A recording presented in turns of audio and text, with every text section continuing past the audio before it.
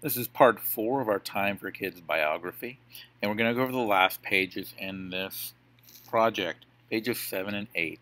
On page seven, where header goes, just like on the previous pages, you're going to have a title for this article. Again, you can get rid of the subheader, doesn't need one here.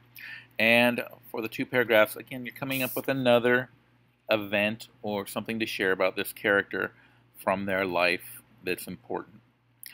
Down below, where you have an image of George Washington, you're going to again put an image of your character or person.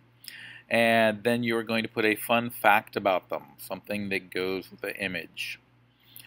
Moving over to page 9, last page, again, you're going to have the title, and you're going to delete the subheader, and you're going to have to put a video in here.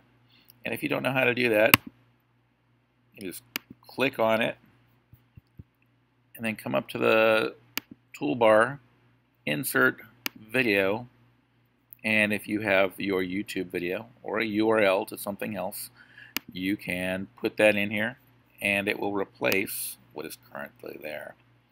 Last but not least, another fun fact, you can leave the question mark, you can leave the did you know, and then you can just put that last fact in there.